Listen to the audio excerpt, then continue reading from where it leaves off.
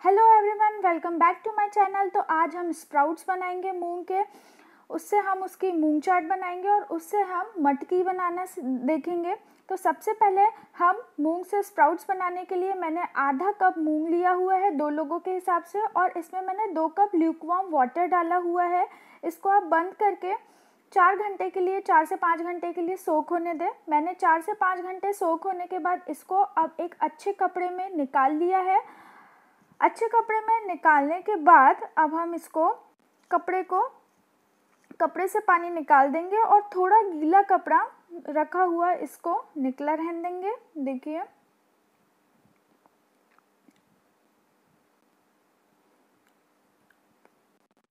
बस आप कुछ इस तरह से स्प्राउट्स बनेंगे।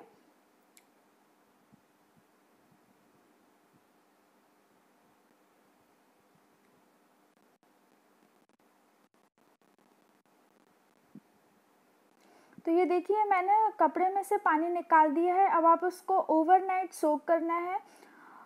आप उसको 12 घंटे सोक करने के बाद जब आप कपड़ा खोलेंगे तो आपको इस तरीके से स्प्राउट्स मिलेंगे और आपको उसको गर्म जगह पर रखना है। अगर उसमें छोटे छोटे स्प्राउट्स निकलते हैं तो आप उसको छः सात घंटे के लिए और बंद करके रख दें। अब हम इससे बनाने जा रहे हैं मूंग की चाट। तो मूंग की चाट बनाने के लिए मैंने टमाटर, प्याज, थोड़ा सा कटा हरा धनिया और ककड़ी काटी हुई है। आप अगर इसमें और वेजिटेबल्स ऐड करना है तो आप और वेजिटेबल्स ऐड कर सकते हैं।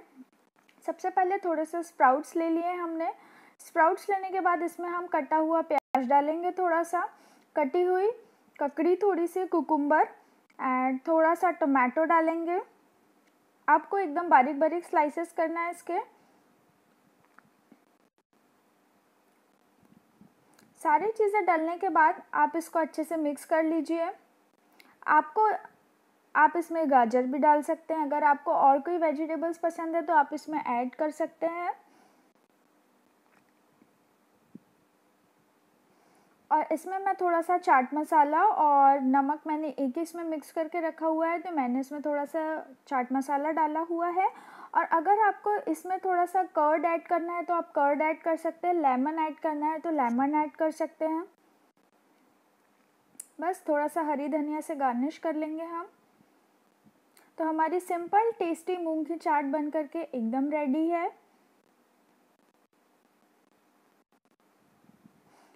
एक हेल्दी रेसिपी है हेल्दी ऑप्शन है।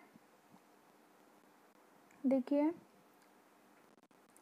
अब इसके बाद हम बनाएँगे महाराष्ट्र की फ़ेमस डिश मटकी। और अगर आपके घर पे कोई सब्ज़ी नहीं हो, तब भी आप इसको बना सकते हैं।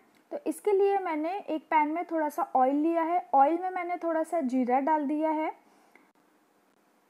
जीरे को थोड़ा होने देंगे। थोड़ी सी मैंने यहाँ पे राई डाल दी है। राई को थोड़ा अच्छे से होने देंगे।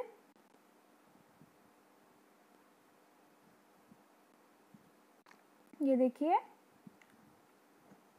और बस जब राई और जीरा अच्छे से हो जाए, इसके बाद अब हमने इसमें प्याज डाल दिया है। प्याज और थोड़ा सा ये लहसुन छोटा छोटा मैंने बारीक काट करके रखा हुआ है।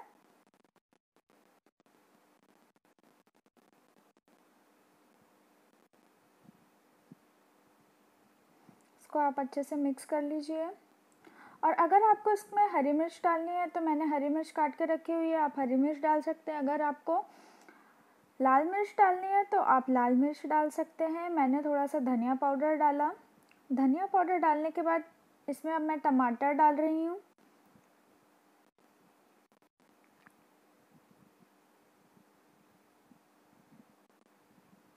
बस आप टमाटर को अच्छे से मिक्स कर दीजिए आप।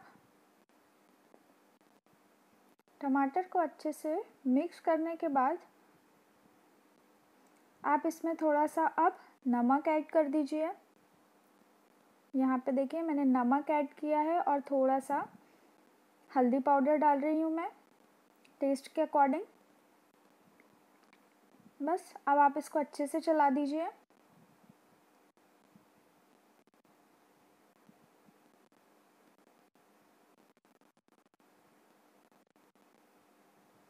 आपको इसको तीन से चार मिनट अच्छे से चलाना है। इसमें आप टमाटर डालने के बाद मैंने इसमें नमक ऐड किया हुआ है टेस्ट के अकॉर्डिंग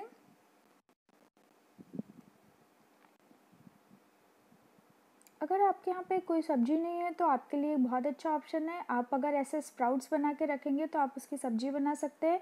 इसको आप पराठे के साथ खाइए, ये बहुत टेस्टी लगती है।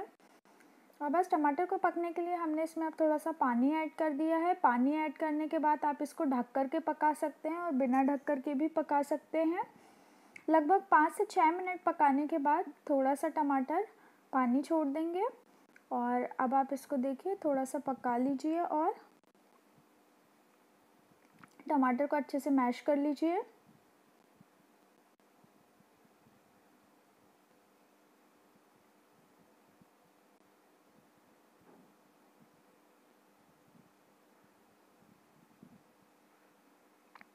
टमाटर को आप अच्छे से मैश करने के बाद आप इसमें थोड़ा सा गरम मसाला भी ऐड कर सकते हैं। अगर आपको गरम मसाले का टेस्ट पसंद है तो। और बस हमारे टमाटर अच्छे से हो गए हैं। अब हम इसमें जो स्प्राउट्स है उसको डाल लेंगे। बस इसको आप अच्छे से चला दीजिए। इसको बहुत हल्के हाथों से चलाइए। अगर आप ज़्यादा तेज़ चलाएँगे तो उसके जो स्प्राउट्स निकले हुए हैं, वो टूट जाएँगे। बस आपको इसको धीरे धीरे चलाना है। आप इसको सूखा भी खा सकते हैं और पानी डालकर भी आप इसकी ग्रेवी टाइप बना सकते हैं। सूख भी पराठे के साथ अच्छी लगती है, आप पूड़ी के साथ खा सकते हैं, पराठे के साथ खा सकते हैं। ग्रेवी वाली आप सब, सब्ज़ी बनाएँगे तो आप चावल के साथ खा सकते हैं इजीली तो मैंने यहाँ पे पानी वाली बनाई हुई है, आप इसको सूखी भी सर्व कर सकते हैं। सूखी वाली को नॉर्मली मटकी बोला जाता है और जो हम पानी वाली बनाते हैं उसको मिसल पाव के साथ खाया जाता है। बस आपको इसको थोड़ी देर ढक कर के रखना है और लगभग तीन से चार मिनट होने के बाद अब आप देखिए हमारी एकदम सब्ज़ी बन कर के रेडी है। थोड़ा सा जो भी टमाटर खड़े खड़े हैं, उनको आप अच्छे से मिक्स कर लीजिए।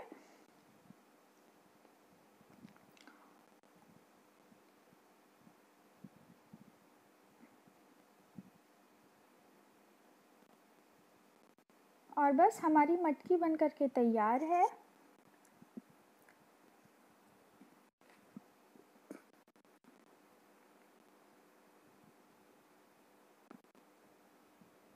और बस अब आप इसको निकाल लीजिए बाउल में और इसको धनिया से गार्निश करके सर्व कीजिए। तो हमने स्प्राउट से ब्रेकफास्ट भी बना लिया, लंच भी बना लिया। हम स्प्राउट से तीन चीज़ें बना सकते हैं इजीली। तो अगर आपको मेरी रेसिपी पसंद आई हो तो मेरा चैनल लाइक, शेयर, सब्सक्राइब करना ना भूलिए। मिलते हैं नेक्स्ट एक अच्छे से व्लॉग के साथ। तब तक के लिए bye bye, take care, stay safe.